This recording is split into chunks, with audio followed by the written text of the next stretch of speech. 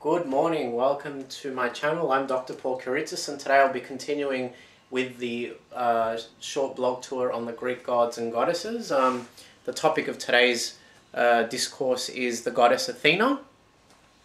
Athena, or Pallas Athena, as she is sometimes called, uh, is the preeminent Olympian patroness of civilized life, warfare, and the metalworking of weaponry agriculture, as well as moral virtues such as justice, balance, balance orderliness, and wisdom.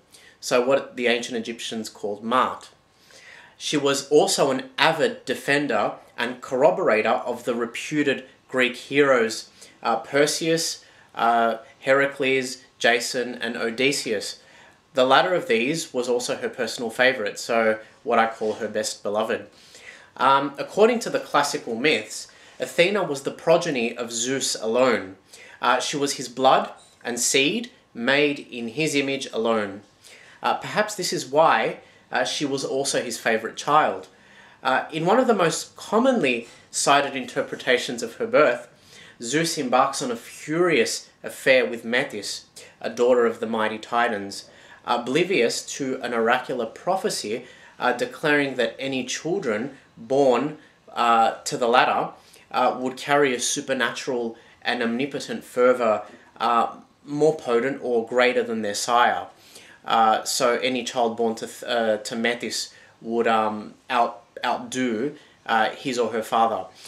realizing his mistake, Zeus swallows Metis in hope that any impending conception would die within her. But this is not this was not the case.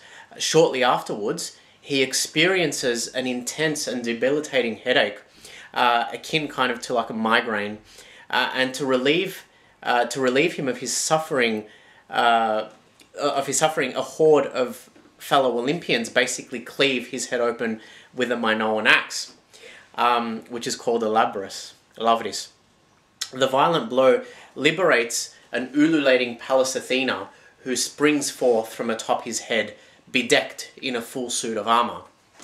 Foremost of her epithets is grey-eyed or flashing-eyed, most fitting because of the inextricable qualitative connection between the colour grey and the concept of divine wisdom uh, over which she presides. So there's a connection between grey and wisdom, hence why when we get old, we like to think of ourselves as wiser and grey.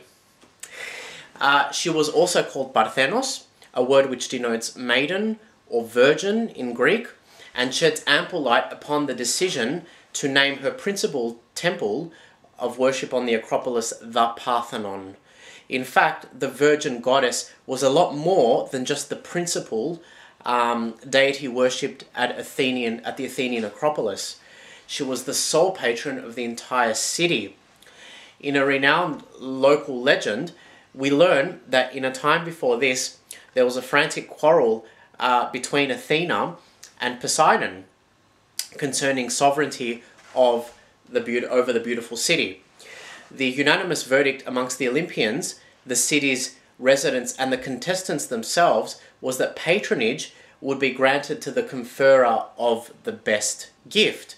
So he or she who gave the best gift would also become the patron of the city hoping to woo uh, to woo the masses uh, with his sheer strength, Poseidon generated a pressurized uh, saltwater spring atop the Acropolis by striking his trident on the ground. Athena, on the other hand, uh, was a lot more subtle uh, in her ways. Um, she was craftier as well. Uh, she basically jabbed her foot against the earth, um, and the first domesticated olive tree sprung from the dirt. So the first gift, uh, Poseidon's gift, was quite impressive, but it was useless, seeing that salt water was undrinkable. Uh, the second appeared much more modest, though it hid a truant potential. Um, wood, oil, and olives, all of which were useful. So wood can be used in the construction of living quarters. Oil and olives, of course, can be eaten or consumed. Uh, for these reasons, the victory was awarded to Athena. In Homer's Iliad, Athena takes the side of the Achaeans, the Greeks. To understand why, all we need to do is look at the judgment of Paris, uh, the prologue to the Trojan War. The Olympian gods and goddesses were not ones to take knockbacks lightly, especially when they were of a personal nature. In the same way, Paris's act of gifting the golden apple to uh, the beautiful Aphrodite over here enraged Athena to the point that she never quite forgot it. Hence, when the agglomeration of events that followed Aphrodite's acquisition of the golden apple flowered into a full-fledged uh, war, Athena fought vehemently uh, and furiously against Paris and his people, the Trojans.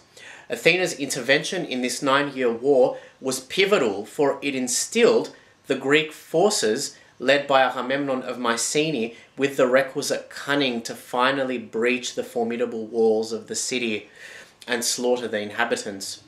Indeed, the conspiracy to bring down the city by constructing a hollow wooden horse and presenting it to the Trojans under the pretense of a gift was exclusively her idea.